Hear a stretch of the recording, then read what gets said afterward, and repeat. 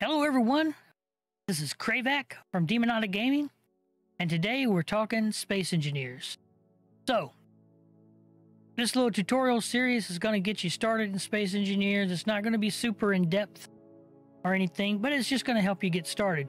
How are we going to do that? First thing we're going to do is once we get loaded into the game, we're going to click New Game right here. And you have three tabs across the top Scenarios, Workshop, and Custom Game.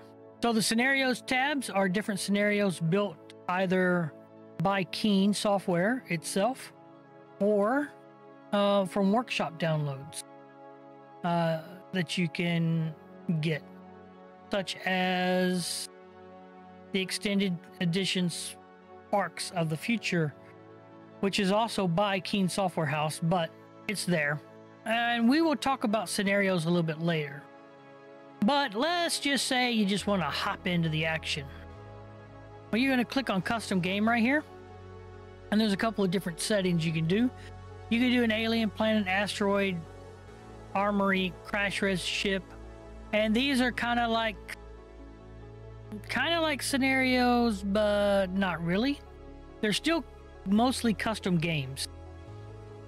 And they just come with some pre-built stuff like the alien planet and the Earth like planet both come with a pre built station on the planet. Uh, Asteroid Armory comes with some pre built stuff. Crash Red Ship the same way.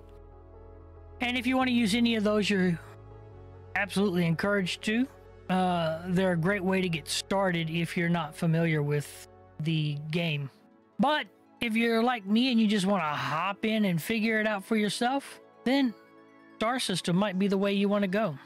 Now, once we've chosen one of these situations here on the left, then on the right hand side, you'll see you can name the game. This will be your save name. Whatever you name it will be your save name. You can add a description to the game if you want to.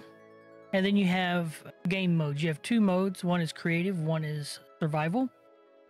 In creative, there's unlimited resources, instant building, and no death, as the tooltip suggests. And then survival is a realistic deal with inventories and all of that stuff.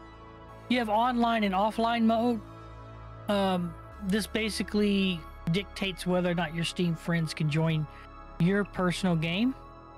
Max players is exactly what it indicates. How many people can join your game and whether or not you want autosave turned on and off. I recommend leaving it on uh, unless you plan on doing some streaming stuff. Then you might want to turn it off so that you can control the saves. Underneath all that, you have mods and advanced. We're going to skip the mods and we're going to do, it's going to be a special tutorial all to itself. And right now we're going to click advanced settings. And we have quite a few things to look at here. So you have your inventory, block inventory. So block inventory would be like storage containers or whatever, right? And then your character inventory. And then you have settings like realistic three times, five times, and 10 times. You can adjust that based off of your personal preference. Same thing with block inventory. You got realistic three, five, and 10. And then you have efficiencies and speeds settings. So assembly efficiency uh, is a multiplier. Inside the game, once you get inside, there's a couple of different assembler types. And those assembler types dictate how many resources it uses. And this number, of assembler efficiency, changes that. So a very basic assembler, uh, which might use a lot of resources to create, I don't know, say an iron rod, for example. With this set to 3, 5, or 10, then it would use that much less resource to create the same component. Uh, refinery speed is how fast things are refined. Welding speed is how fast you, you can weld or your welding ships, and the same for grinding speed. Environment hostility. Uh, for new players, I recommend leaving this on safe just because it throws in asteroids and the problem with the asteroids is they're fairly random. And while they no longer always target you or your base specifically, they have a high percentage of hitting you. Uh, so if you're a new player, I would recommend leaving this off till you kind of get the ropes of the game. Asteroid amount uh, is tied to environment hostility, and you have none, low, low density, lowest density, normal, and high density. This just controls the amount of asteroids.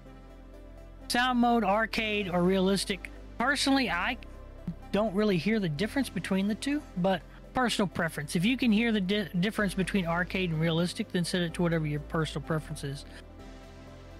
Limit your world size. So when the game generates its worlds, uh, basically limit the size of the world. I think the max size of the world is 120 kilometers, which would be what you get when you choose unlimited.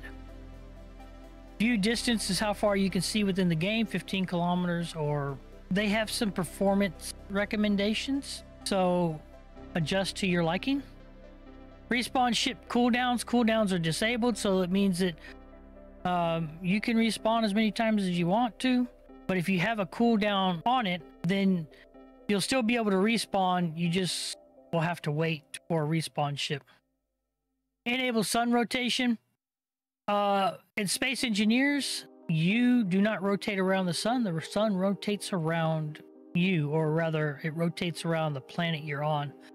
Uh, the game uses skyboxes instead of uh, an actual orbiting mechanic or anything of that nature. Day duration is two hours. Max objects is how many objects can be in the world, like junk objects or just other type of objects. The more objects you have in the game that's just kind of lying around or floating around, then the bigger the performance hit uh, on your PC. Uh, Max objects is kind of a huge deal, particularly on servers. Block limits. Basically, how many blocks uh, can be in the environment. If I'm not mistaken, I believe that's what this one stands for. And you can enable it or disable it. If you try to disable, you'll get this warning pop up and it tells you that block limits are there to ensure good performance and to only disable for experimental purposes. Max ship size and max blocks per player. Uh, you can set this to whatever you want, but basically, this sets the number of allowed blocks. So if you have block limits on, then the max size is set for ships is set to 50,000 and max blocks per player is 100,000.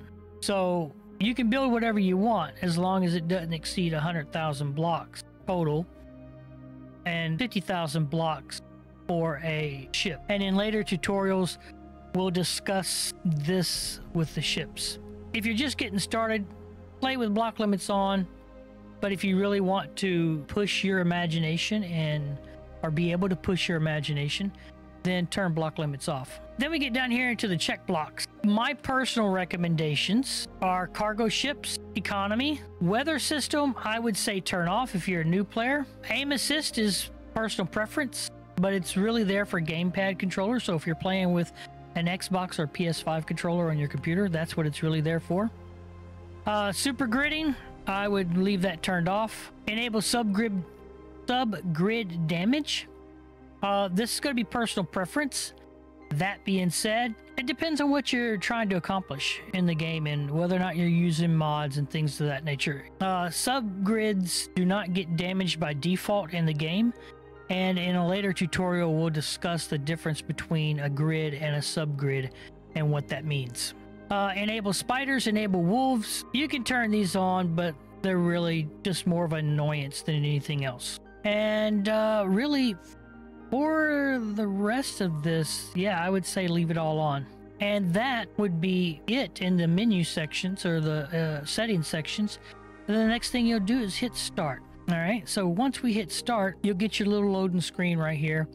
And you're going to want to read some of these because they actually have some game tips. Yeah, the rest of it is just kind of like uh, quotes from Newton and Pascal and uh, engineers and scientists, that sort of thing. And then when you get into this section right here, you get to choose where you want to drop or spawn into the game for the first time. Uh, each one of the as you highlight them, you'll notice this little box opens up to the left. It gives you the difficulty level, how much oxygen, and what the planetary gravity is. And we will discuss planetary gravity and how it affects your gameplay in later tutorials. I would recommend that if you want uh, something kind of easy to learn the game on, then I would certainly recommend doing the Earth-like drop pod. And once you select your drop pod or how you're going to spawn into the game, just click respawn right there. And once you click respawn, you will be well on your way to playing Space Engineers. Well, you'll at least have gotten a start. And that will be it for this tutorial. The next tutorial uh, will be out soon, and it will be what are your next steps? Once you get into the game, what are your next steps? So stay tuned for that one. Thank you everybody for checking out this tutorial. Please leave your questions and comments down below, and don't forget to hit the like and subscribe. Have a good day, everybody, and remember, play to win. Bye bye now.